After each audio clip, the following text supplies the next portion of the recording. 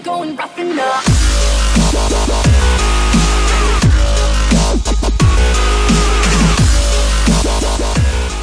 Hey, hey, welcome back to Gilroy How To's. Guys, I missed you. It's been a while.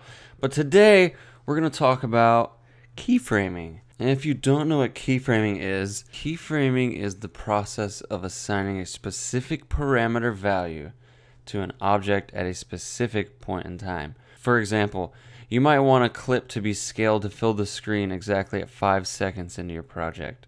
What I have on screen is a video clip of me flying back from Los Angeles. I I just thought that was a really cool clip.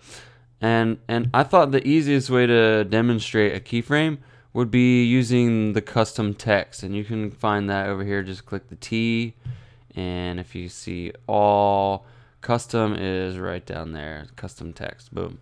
It doesn't have any build in or out values. It's just it's just text. It doesn't do anything. So we can keyframe that ourselves.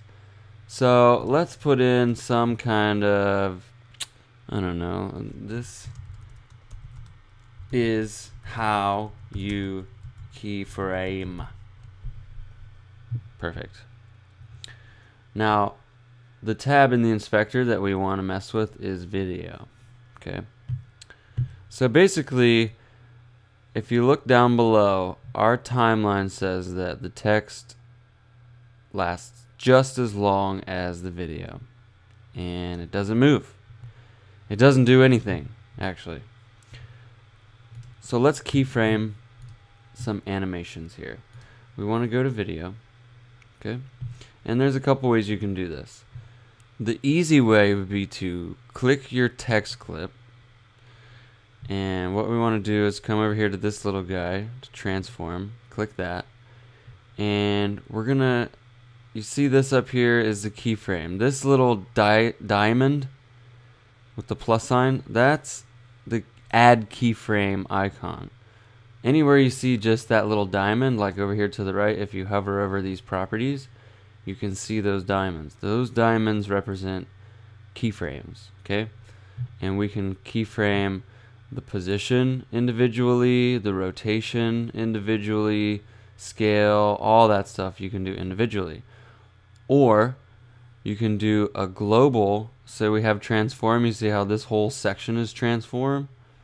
You can do a whole global keyframe and just add a keyframe there, and you'll notice all these turned yellow over here on the right. That means we have a beginning keyframe for all of that. So let's say for the beginning, we want this to be right off the edge of the screen. So let's drag it all the way over. And we want to move our playhead. And we're not being precise here. Let's just move it forward. And we're going to hit the plus sign again. We're going to add another keyframe. And now, if we move, let me uh, let me dial out a little bit. If we move that text frame back in, first of all, you're going to notice that something's different. You have the arrow at your starting position, and now we're dragging, and it has this red line. Basically, that's going to be our motion path. Okay, so we've keyframed and this is a good way to go back and forth. If you hit this blue arrow, it takes you back, it takes the playhead back to your initial keyframe or any keyframe before that. And if you hit the blue arrow on the right side, that takes you to the next keyframe. So previous keyframe, next keyframe, and bada boom, bada bing. That's a good way to keep uh, keep tabs on where your keyframes are. All right, so if we take it to the beginning, and playback, you basically see just the text very smoothly slide in from the left to the right and stay on screen. And it does that because we haven't made a keyframe for it to go anywhere. It's just going to stay there. And stay there. But I'll show you a trick. Say we wanted it to slide in and then we want it to stay there for a minute and then we want it to keep sliding out the way it came in. This is this is it, it can be can be tricky figuring that part out, but I can show you the easy way.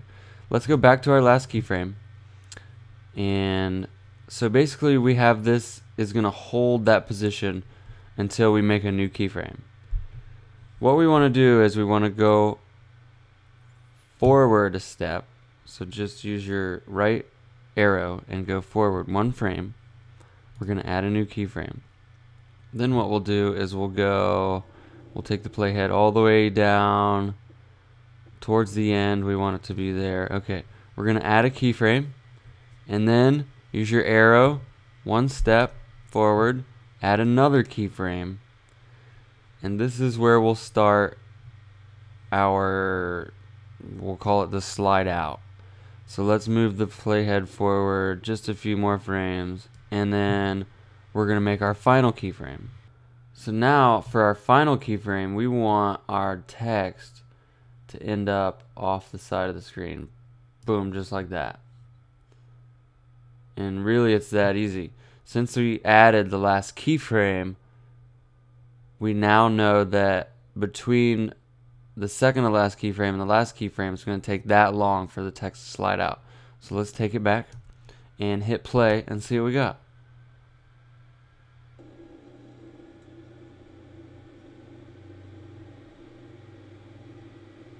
Okay, cool, cool. It stayed there. It's staying there. It's going to keep staying there. We're coming up on a keyframe. And she slides out. Boom. Now, this is the most basic, primitive form of keyframing that I could possibly show you. You can change the properties over time for effects, for audio levels, for text, for generators, pretty much anything that has a keyframe icon beside it, you can change its properties over time.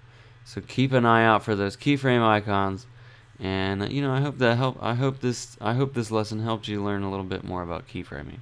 Everyone, I think every one of you follow my channel, my vlog channel. So if you're here for the giveaway, make sure you leave a really cool, clever, positive, creative comment down below and you will score yourself the Meze Deco 2 headphones.